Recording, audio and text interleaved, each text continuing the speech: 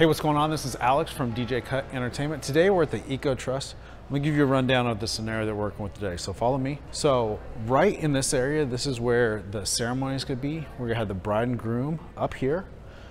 After the ceremony is done, we're gonna do a room flip. So you can see this room, we have all these tables over here that are all staged over there. We have all the chairs here, gonna go around the tables, but we're gonna have to flip this room around, so it might be a little bit difficult.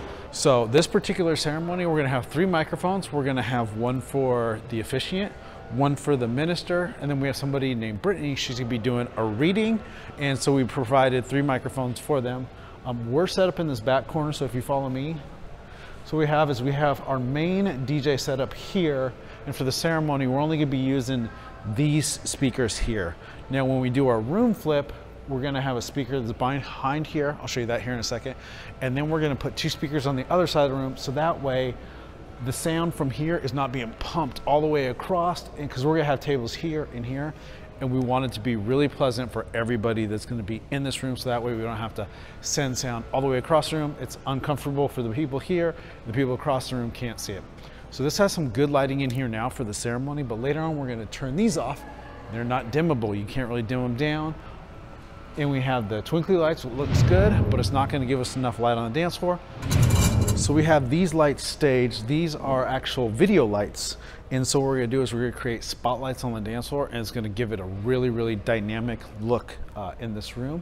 And then we're doing 10 uplights around the room and it's gonna make this room look really good. It's gonna make the room pop. Um, we'll do some accents up against the wall and it's gonna look really, really good once we lower the lights down. Where we have sound here, it's gonna go this direction. So everything in here, nobody's gonna hear anything. So if you come around here, this is gonna be one of our cocktail speakers and it's gonna go this direction. It's gonna get everybody that's in here. And they also have a photo booth over here. So we wanna have sound over here. We want people to hear everything that's being said. And so that's why we have that speaker up there. We'll probably put another one back over here in this corner. So we have this stage right here for now. So after the ceremony is over, this is where gonna put our other speaker and probably face it that way or bring in that room depending on where people are gonna be. Sometimes it's kind of hard to gauge, are people gonna be more in that room or more in this room? We wanna have everybody hear everything properly and so it's comfortable for everybody at the wedding. So what we have here is we have our alto setup and we're gonna have wireless speakers. If you notice, it'd be really hard to run cords, not per se on this side, but all the way over there.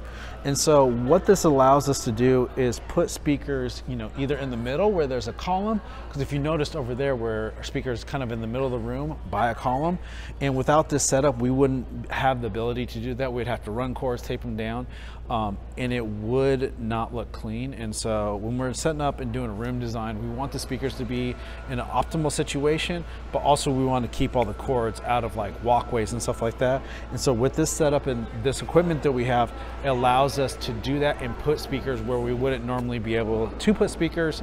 And like I said, my biggest thing is making sure that it's comfortable for everybody to hear.